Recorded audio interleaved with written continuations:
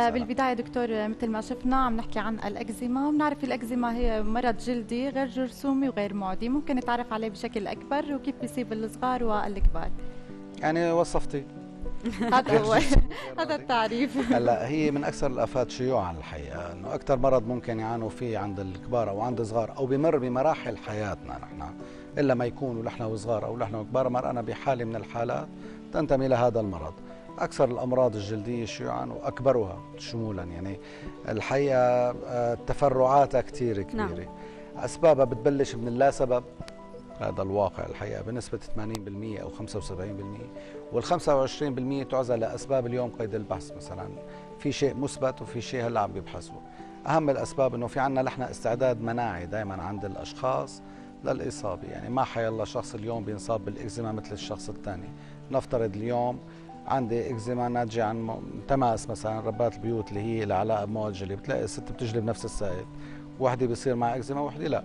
نعم. فمعناتها الحقيقة هو الموضوع شخصي. يعني يرتبط بعوامل قد تكون زمر نسيجية استعدادات اليوم وراثية موجودة للقصة آه، بنية تأتبية بنية تحسسية. هذا بتساعد على ظهورها.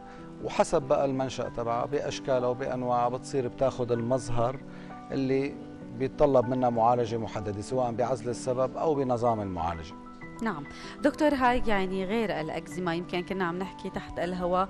آه البشرة خلينا نقول أو الوجه هو مرآة لنا عم نتعرض لكثير عوامل غير عوامل الطقس الحرارة. آه عم نتعرض أيضا لنوع من الدخان. ممكن حتى الدخان اللي عم يطلع من السيارات ويغبوا بشرتنا. كثير من العوامل عم نتعرض لها آه قديش كمان مهم يكون عندنا هيك شيء وقائي نقدر نحن نحافظ في عليه أو حتى شيء من جوا دائما أنتم كدكتور مثلا بتركز على الشيء الداخلي لا يظهر لبرا الشيء الخارجي هو بس من برا ولكن إنه قديش مهم إنه نحن نبلش إذا كان فيها أي شيء نعالجه داخليا يعني. هلأ بشكل عام إذا بدنا نقعد نحن نتحسب لكل شغلة ما بنعيش إذا بدنا نقول الدخنة تبع السيارات والطقس والغبرة هي الوسواس. والأكل وهذا كذا بنحس حالنا بنقعد مثل مايكل جاكسون بزمانه. بنحط حالنا بغرفة الأكسجين وبنحط قناعات وبنمشي. والوهم بهيك شغلة أصعب من الإصابة نفسها. آه الوقاية بتقول إنه نحن إذا نحن ما لنا قدرانين نطلع برات البيئة تبعنا أو برات المشكل تبعنا أضعف الإيمان إنه نحن نقوي دفاعاتنا. يعني أنا إذا انحكم علي اني زدت حالي بالبحر فخليني اتعلم السباحة. فأول شغلة لازم نقوي حالنا. طبعا كيف نقوي حالنا؟ نحن في شغلات لها علاقة إنه نبعد عن الشغلات اللي إحنا بإيدنا.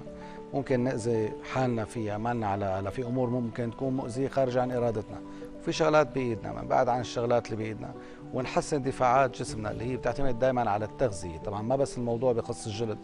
الجسم هو مثل السفينة يعني كل ما بنخدمها كل ما بندير بالنا عليها كل ما بتبحر فينا أكثر تحسين أنماط التغذية طبعا نقصد بأنماط التغذية ممكن تكون لا تعني بالضرورة خضرة ولا تعني بالضرورة أكل زيت. هي معلومة جديده لا لا, لا بالعكس ابدا. هو لازم يكون تنوع غذائي الإنسان بده يكون عنده تنوع كامل بده يكون عنده وارد بروتيني جيد بده يكون عنده وارد دسم جيد.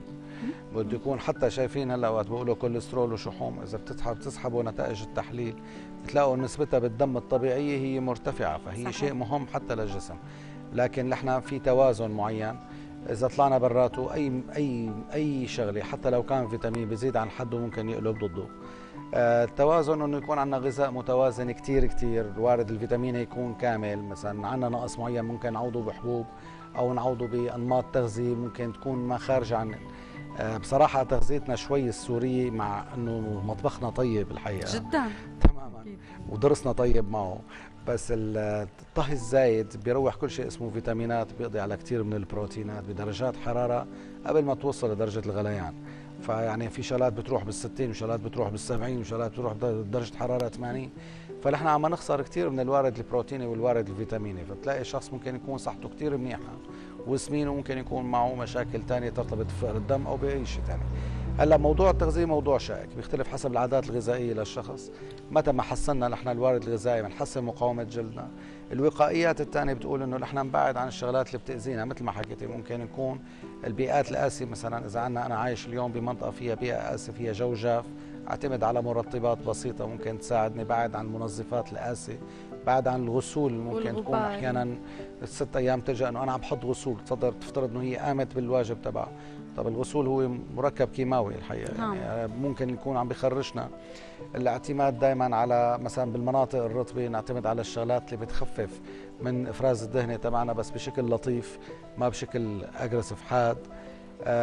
بعد عن الشغلات اللي ممكن تأذينا بعض انواع يعني مثلا كثير في عنا عادات عن الست حكينا فيها كثير وللأسف ترتبط عنا اجتماعيا موضوع ال make up المفرط موضوع إنه أنا بحط make up إذا بدي فوت أشرب فنجان قهوة عن جارتي. يعني هي هون مشكلة. هي عادة. هي صارت عادي تماما. أكيد. لكن هي مع الأيام بيندفع ثمنها يعني هاي المشكلة مثلا اللي بيعانوا منها الأغلبية. استعمال الواقيات الغير دقيق أو الغير مدروس. إنه أنا بيجي بقول أنا استعملت واقي فرنسي بفترض إنه أنا استعملت الأفضل. تماما. طب ما هذا الواقي معمول لفرنسا لفئة عرقية مختلفة عن فئتنا العرقية تماما.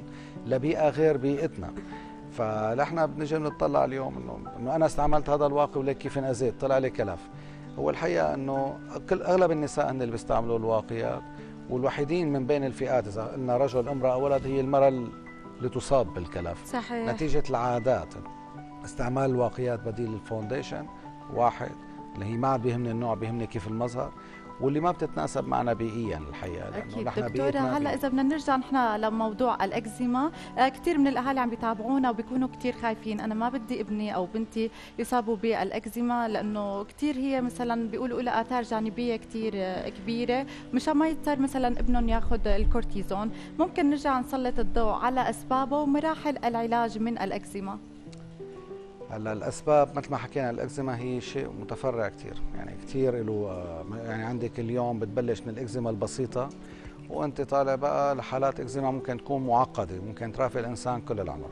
بتبلش بعمر ممكن يكون الإنسان طفل لأسباب ممكن يمكن دكتور حتى الواقي ممكن أحيانا يسبب إكزيما. تتابعا لكلامك اللي كنا عم نحكيه. أي أي مستحضر اليوم ممكن أنت تتعاطي معه ممكن يعمل لك إكزيما. تماس مع أي شيء. في ناس ممكن بالمناسبة الإكزيما من ضمن التفرعات تبع الشري التحسس. ما في ناس بتتحسس على درقني أو على كيوي أو على هذا الموضوع بيجي تحت مظلة الاكزيما الحقيقة اللي هي الأمراض التحسسية. فأي شيء ممكن يعرضنا لتحسس. هلا كيف نمنع أنا طفلي إنه أنا ما ينصاب بالاكزيما للأسف إنه أنا ما فيني أمنعه عن شيء لحتى أجرب. يعني أنا ما حدا بيعرف حاله معه إكزيما أو تحسس تجاه شيء إلا لا يوقع فيه في أطفال بيكونوا ولدان بيطلع عندهم تحسس على الحليب مثلا على الحليب ولو كان حليب الأم. فهذا الموضوع آه، عدم تحمل اللاكتوز أو غيره ممكن يعمل لي حالات إكزيما. في حالات إكزيما بتكون مختلطة بتختلط بالفطور في حالات إكزيما ممكن تكون آه ناتجة عن مواد تماس قصرية. يعني الناس اللي بيشتغلوا بالإسمنت مثلا. ناس التماس ببعض المهن مثلا مع بعض المواد الكيماويه ست البيت تماس مع مواد التنظيف. هاي ممكن من الشغلات اللي بتأثر.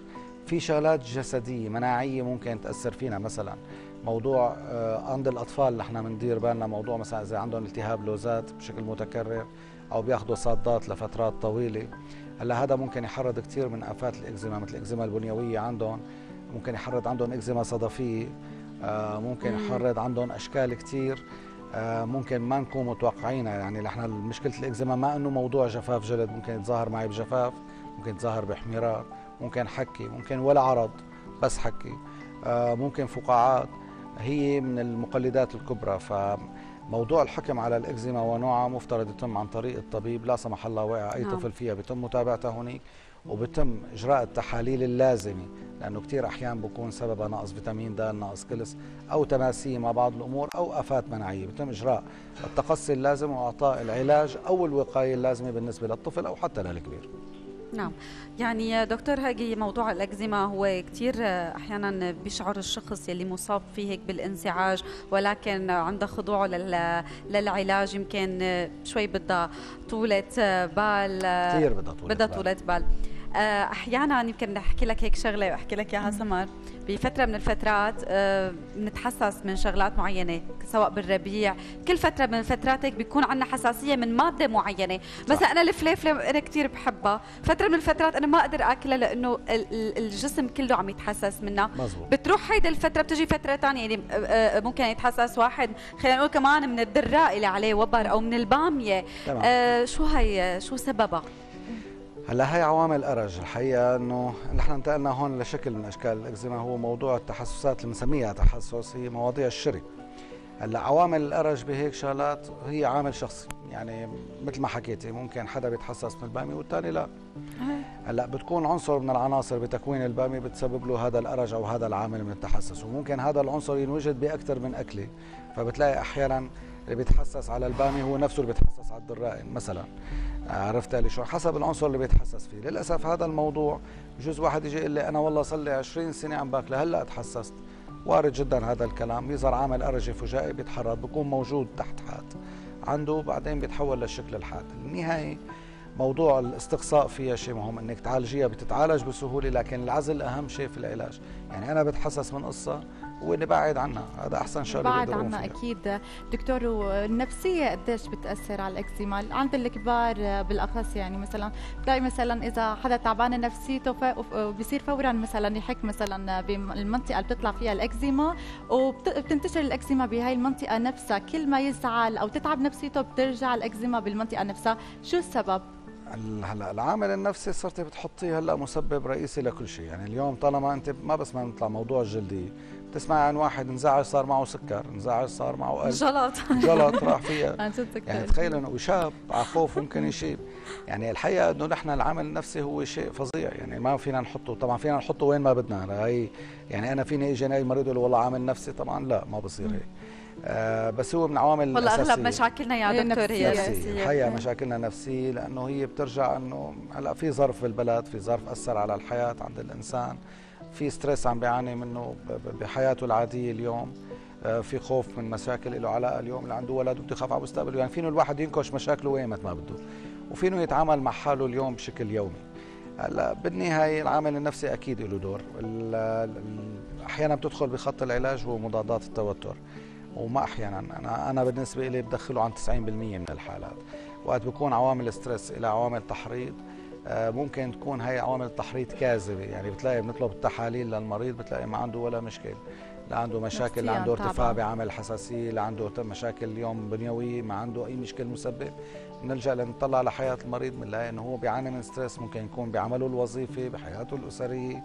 طالب مثلا بالبكالوريا بتكثر لنا هيك الحالات. هلأ بتصير هاي الموضوع موضوع هو تحكمه بال anti stress يعني بينعطى بعض المستحضرات الخفيفة اللي ممكن نتحكم فيها. في بعض الأمراض بكون سببها مشاكل غير موضوع اللي عندهم بعض المشاكل النفسية المرضية بياخذوا بعض الأدوية. أحيانا الأدوية نفسها ممكن تسبب لنا مشاكل تحسسية. الحقيقة الموضوع شائك. يعني الموضوع يرتبط بكل مريض كل مريض هو حالي. ومش وموضوع الإكزيما كثير واسع. آه، لكن بشكل عام هو كثير شائع. مشكلتنا نحن هون ببلدنا إنه المريض بفكرها إنه هي حكي رحت دهنت لها كريم أخذت لها حبة انتي هيستامين هي ما هيك ممكن تكون هذا الموضوع يعلق معه سنين إذا موضوع ما استدركه بشكله الصح. الاستقصاء السؤال الاستجواب المريض التحاليل هو شيء مهم بالتشخيص وبالمعالجة. لاحقا. أكيد لأنه مثلا أنت مثلا ابنك مرضان يا سالي بتروحي عند جارتك والله معي أكزيما. خدي استخدمي له هذا الدواء أو هي الخلطة الطبيعية يعني قديش هذا الشيء كثير مضر. يعني كل لا ما بس مضر في مضر ما بس للمريض. في عندنا مشكل ثاني بيجينا المريض لحنا. إذا كنت عم بوصف له مرهم في شوية كورتيزون مثلا لحال خفيف. دكتور أنا ما باخذ كورتيزون هو وصف الطبيب. بس بكون ليش ما بياخذه؟ آه لا هو ما هو الفكرة لأنه هو الكورتيزون هو من اسم الكورتيزون بخاف ببلدنا الكورتيزون والإيدز حساب واحد.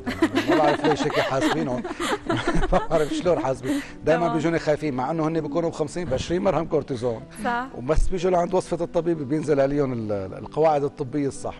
هاي المشكلة. المشكلة رقم اثنين أحيانا استعمالنا لهي المستحضرات. يعني لا اي كريمات شو بدها تسمي بدقوا على وصفة الطبيب عن عن جارتهم. لا عندهم عادي هاي الخلطه الطبيعية. الجاره ممكن تلغي الوصفه كمان.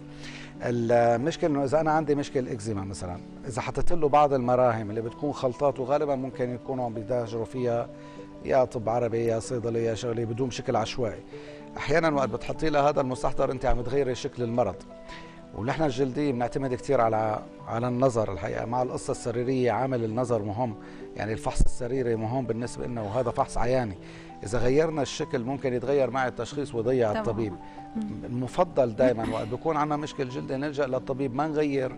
شكل المرض لأنه رح أحياناً ممكن يضيع. الطبيب ويعطيهم مش صحيح. علاج لمشكل ثاني يعني تعقيبا على حكي سمر إنه آه، جارة بتوصف لجارة دواء أو بتقول لها حطي لها ماورد أو حطي لها شوية هلا هي الموارد ما عندنا مشكل فيهم بس ما يحطوا كريمات ما عندنا. إيه أو حطي له هيك شيء يعني كمان ممكن يزيد عامل الخطورة اللي نحن هلا رح نسلط الضوء عليه بالإكزيما لأي حد ممكن تكون تشكل في حال أهمل علاجها أو انعطى العلاج بالطريقة غير صحيحة. قد إيه بتشكل عامل خطورة؟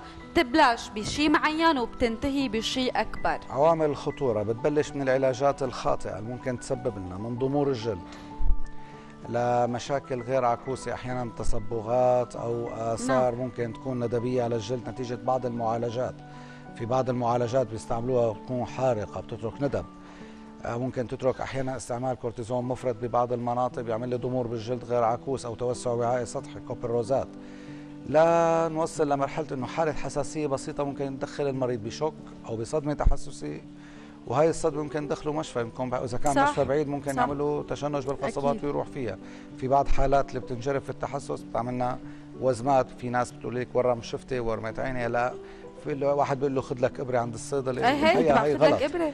هي ما هيك المشكلة. إنه هي ممكن بلحظة إنه تتطور معه ليوصل لمرحلة اختناق يكون بعيد عن أي نقطة طبية أو عن أي وسيلة إسعافية أو يوصل الاسعاف لمنطقة أو لمشفى ما يقدر الطبيب الإسعاف يتدارك القصة لأنه هو عم بيتعامل مع مجهول بلحظته فطبعا ما ما ما عن سوء تقدير أو سوء علم لا لا فعلا بعض الحالات الإسعافية ممكن تكون مربكة للطبيب المسعف الله يعينه صح. لأنه هو ما بيقدر يعرف خلفياتها. فدائما نتعامل مع مشاكلنا باهتمام أحسن. يعني اليوم مثل ما قلت اليوم بصير عندنا مشكل بأي منطقة بجسمنا بروح على الطبيب لا يتعاملوا مع المشكلة الجلدية إنه هو موضوع شغلة بسيطة وبندهنها نحن عم نتعامل مع جلد بشري ما عم نتعامل مع جلد جزان أو جلد جاكيت ندهنه وشي صحيح إيه هذا الموضوع هو واجهتنا هو حياتنا بدنا نحرج منه إذا كنا عم نسلم على حدا ولا بشكل وجهنا ولا إذا عد حكينا قدام العالم.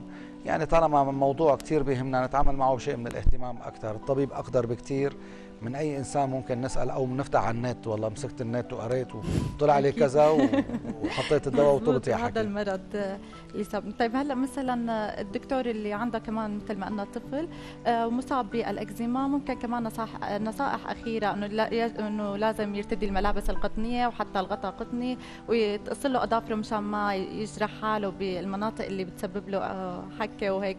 شو ممكن لا؟ هسه في قصة أهم. تفضل. العادات الغذائية. عند الأطفال. إحنا تعودنا نسكت أولادنا بالشغلات الطيبة بنسميها. البونبون والشوكولا والشغلات ال- اللي هي أغذية الأطفال. للأسف ثلاث أرباع ما ثلاث أرباع بكون كثير مع يعني لطيف بالنسبة. يعني 99% منها مؤذي الأسباب إنه اليوم دائما اقروا الشغلة اللي بتحطوها لأولادكم. إذا قريتوا ثلاث أربع كلمات فهمتوهم وبقيه الكلام ما فهمتوه. شيلوا المنتج كبوه بالزبالة. يعني دكتور موضوع كتير مهم عم تسلط عليه كنت الضوء هو الداخلي قبل الخارجي. أهم شغلة. يمكن وقفات عديدة المعلومات اللي اليوم حكيتها يمكن أنا أو مشاهدينا أول مرة بيستفيدوا منها. فحيكون لنا وقفات تانية لمواضيع تانية. الأكزيما الحساسية غيره البشرة بحر ما بنخلص إذا حكينا عنها من هون لبكرة.